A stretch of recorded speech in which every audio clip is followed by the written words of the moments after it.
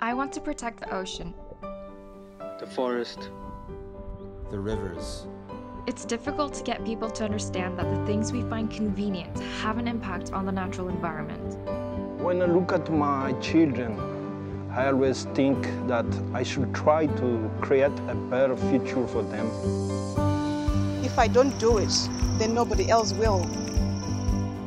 Governments and businesses must step up. So must individuals. Building a sustainable tomorrow depends today on all of us.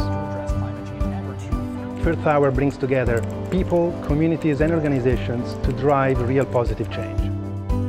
We all know that reversing the course of climate change will not be easy, but the tools are in our hands if we apply them before it is too late.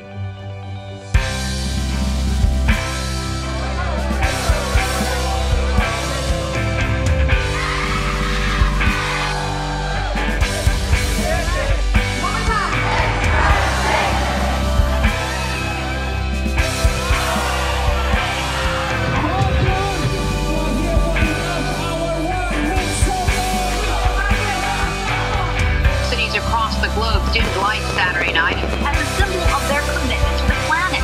People concerned about climate change joined in the global event called Earth Hour.